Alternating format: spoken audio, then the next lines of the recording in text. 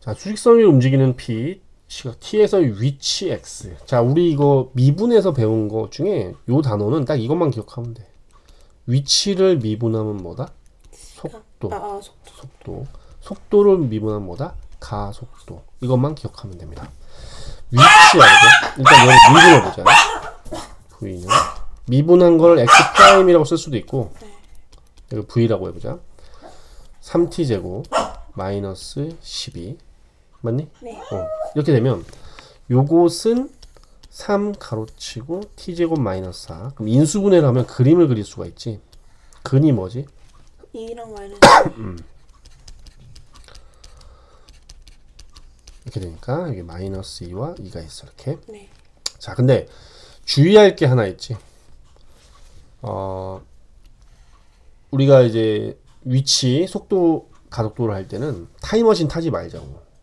네. 어, 여기는 아무 의미가 없는 곳이야.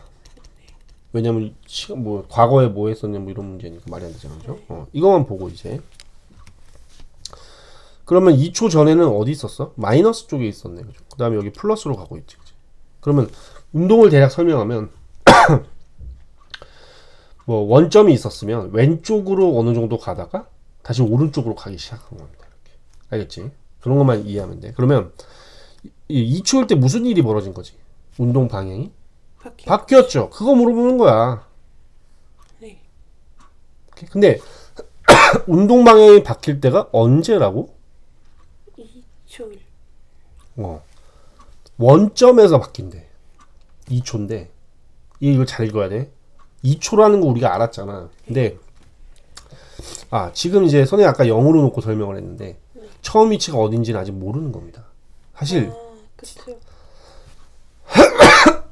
아씨 이번 영상은 버려야겠다. 기침이 계속 나고 개소리까지 들리고 그죠? 어. 어, 0초일 때 K면 이게 K가 바로 원래 위치였다는 거야. 근데 왼쪽 갔다가 오른쪽 가는데 2초일 때 있잖아. 2초일 때 여기가 뭐였단 얘기야 이 말이. 원점에서 바뀔 때라는 거는 2초일 때가 바로 원점이에요. 이런 뜻이야. 아 됐지. 그럼 여기다 2를 넣으면 얼마 나와야 돼? 8 빼기 24 더하기 k는 원점이니까 위치가 뭐야? 0이라는 얘기잖아. 이것만 이해하면 됐었던 문제지, 그치? 그래서 k는 얼마입니까, 이거? 16이니? 맞지? 음. k가 16이 답이 되겠습니다. 네. 자, 근데 이런 문제는 그러면 어, 위치를 미분하면 속도, 속도를 미분하면 가속도 말면 되는데 사실 살짝 한 단계 업했어. 애들이 정확히 이 식을 이해하고 있는지. 어.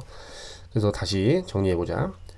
t에서의 위치 x가 다음과 같다. 우리는 기억하는 게 위치를 미분하면 속도다. 속도 그래프를 그리는데 0보다 작은 쪽은 다 지워버려라. 됐니?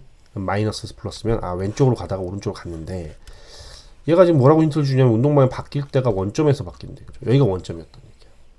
그러면 이게 t가 2였잖아. 지금 2초였잖아. 그죠? 어, 2를 대입하면 그게 원점이 된다. 이렇게 풀었던 거지. 의외로 또 쉽다. 오케이?